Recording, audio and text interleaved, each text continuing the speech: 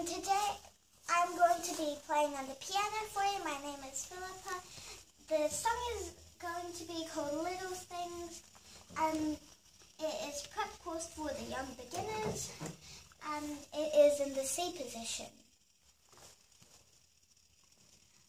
Let's play the song.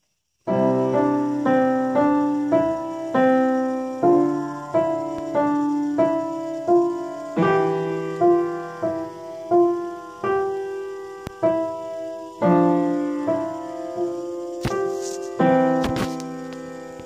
hope you like that song. Most of my friends played this song before. Bye. I hope you liked my video.